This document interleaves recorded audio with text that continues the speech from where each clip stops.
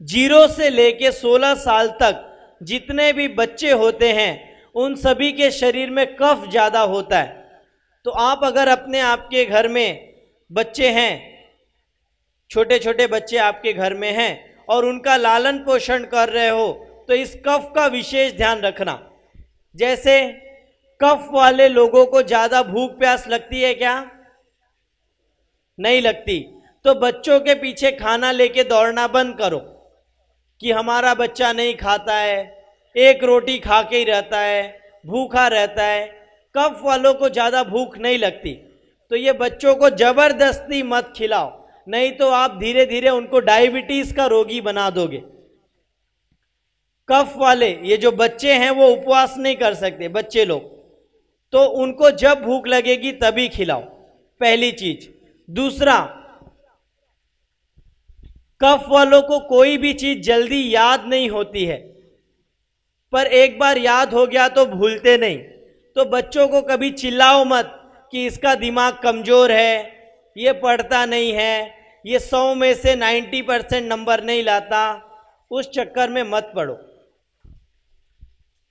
बहुत से ऐसे बच्चे होते हैं जो 16-17 साल के होते ही उनकी दिमागी शक्ति बहुत तेज हो जाती है। जैसे ही वो पित्त में जाते हैं तो उनका दिमाग तेज हो जाता है। तो बच्चों को कभी भी इसके लिए डांटो मत कि तेरा दिमाग ऐसा है, वैसा है। उनका दिमाग बचपन में ज़्यादा समझने लायक नहीं रहता। और कफ वालों को कोई भी चीज़ याद हो जाए तो वो भूलते नहीं। तो अपने बच्चों को ऐसी चीज़ें याद कराओ जैसा आप उन्हें बनाना चाहते हो। आजकल के माँ बाप अपने बच्चों को क्या बना रहे हैं? चार बोतल वोड का हाँ टीवी के सामने चालू करके रख देंगे। तो बच्चा 20 साल का होने तक डेढ़ दो लाख बार से ज़्यादा रेप देख चुका होता है। तीन, साढ़े तीन लाख बार से ज़्यादा मर्डर और छः सात लाख बार से ज़्यादा दारू पीना, सिगरेट पीना, ये देख चुका होता है। तो उसके दिमाग में वही बैठ जाता है और फिर आप बाद में उसको कितना भी समझा लो, वो याद वही रखेगा। तो आप अपने बच्चों को क्या बनाना चाहते हो? जो बनाना चाहते हो, वो चीज़ें रटाओ। जैसे पहले के लोग क्या करते थे कि बच्चों को बचपन में भागवत गीता, रामायण या पंचतंत्र की कहानियाँ, ऐसी चीज़ें उनको रोज़ सुना सुना के रटाते थे। तो वो चीज़ें उनके दिमाग में, बच्चों के दिमाग में बैठ जाती थी। जब वो बड़े होते थे और उनके शरीर में पित्त बढ़ता था उनका दिमाग तेज होता था तो वो उन चीज़ों को समझना चालू करते थे। और 40-45 के बाद जब वो वाह उनके शरीर में बढ़ता था तो पूरे समाज में जाके वो लोगों को ये चीज़ें प्रचार प्रसार करते थे। तो आप देखो, आप अपने बच्चों को क्या बढ़ाना चाहते हो? अपने बच्चों का लालन पोषण करना है तो उनकी तेल मालिश ज़रूर करना। अगर आप चाहते हो कि आपका बच्चा बहुत मज़बूत शरीर का हो, उसके शरीर की ताकत बहुत अच्छी हो, बहुत बलवान हो, उसकी मस्कुलर ग्रोथ बहुत अच्छे से हो तो बच्चों की तेल मालिश ज़रूर करना। पाँच मिनट ही करो, पर ज़रूर करना, रोज।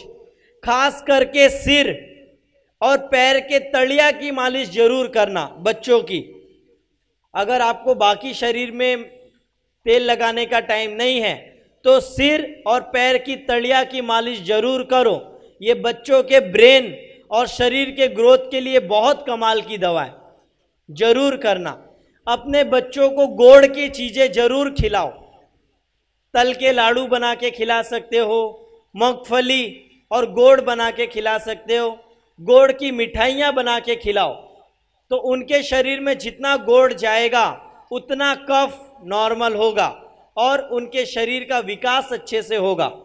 कभी कभी भी बच्चों को जो आप टिफ़िन देते हो, उस टिफ़िन में तल के लाड़ू बना के डाल दो दो चार तो वो खाएँगे।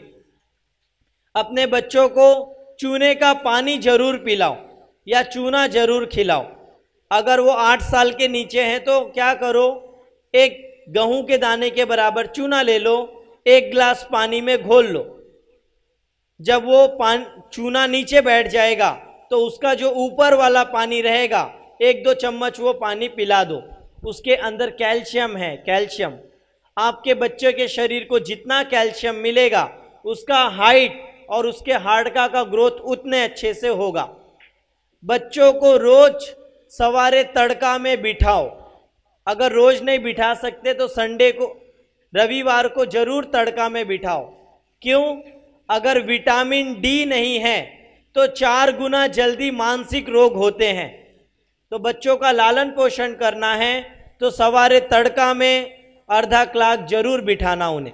उनके लिए ये बहुत अच्छी चीज़ें मक्खन, माखन, ज़्यादा से ज़्यादा खिलाओ बच्चों के ग्रोथ के लिए।